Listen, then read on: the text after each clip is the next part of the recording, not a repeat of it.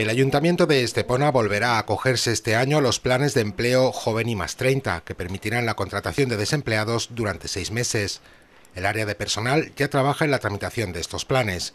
Si todo avanza según lo previsto, hacia el mes de abril podría comenzar la selección de personal y en mayo las contrataciones.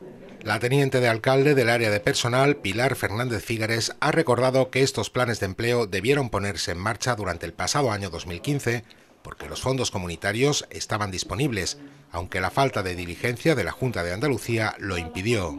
Recordar que estos planes de empleo deberían de haberse puesto en marcha en el año 2015. No se han puesto en marcha por inactividad de la Junta de Andalucía, porque estos fondos estaban ya otorgados desde el año 2015. De hecho, en marzo de 2015, la señora Díaz se pone una medalla diciendo que va a poner en marcha los planes justamente o, casualmente, justo 15 días antes de las elecciones eh, autonómicas y no se supo nada más hasta ahora, enero de 2016. El Ayuntamiento de Estepona recibirá algo más de 1.600.000 euros para sufragar las contrataciones. El 80% procede de la Unión Europea. La Junta de Andalucía contribuye con el 20% y el Ayuntamiento aporta el material y la formación en materia de salud y riesgos laborales, además de adelantar el dinero de las nóminas cuando los pagos de la Junta se retrasan. Los aspirantes a ser contratados deben estar inscritos en el Servicio Andaluz de Empleo como demandantes y, en el caso de los jóvenes, también en el Sistema Nacional de Garantía Juvenil.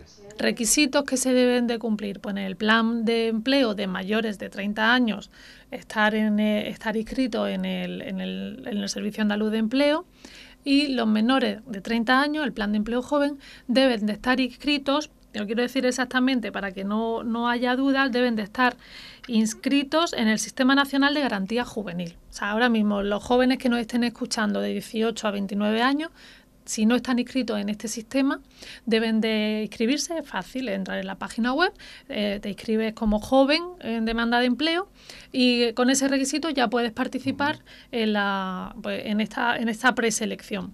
El de Estepona es uno de los ayuntamientos que cumple los requisitos para acogerse a estos planes de empleo subvencionados, al estar al día en sus obligaciones económicas con Hacienda y la Seguridad Social de no tener sus finanzas en orden, se hubiese quedado fuera de la convocatoria. El ayuntamiento no olvidemos que al cumplir los requisitos para recibir las subvenciones, que es estar al día en la seguridad social y en la hacienda o en la agencia tributaria, somos podemos optar de manera favorable a recibir estos, estos fondos para los planes de empleo. Mm. ya digo, son un millón seiscientos y pico mil euros lo que podremos destinar para poder contratar a, este, a, estas personas durante seis meses. Del total de la subvención, 939.000 euros se destinarán al plan de empleo joven, mientras que el plan más 30 contará con 603.000. En total serán algo más de 1.600.000 euros para contratar durante seis meses a 240 desempleados, de los que 116 serán jóvenes de entre 18 y 29 años y 124 mayores de 30.